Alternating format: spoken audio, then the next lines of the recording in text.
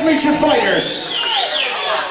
Introducing first, fighting out of the red corner, who stands 5'10", weighing in at 180 pounds, representing Man Up MMA from Midland, Michigan, Jake Captain Kaufman.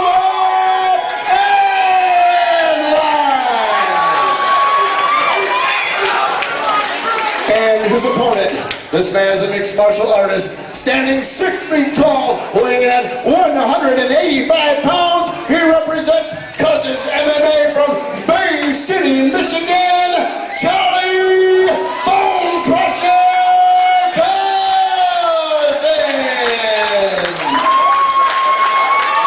And as the fighters to the center of the ring, your referee with a few words for these gentlemen, so you didn't forget what the rules were.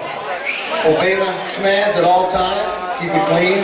Protect yourself at all times. And so come up and have a good fight. Make some noise!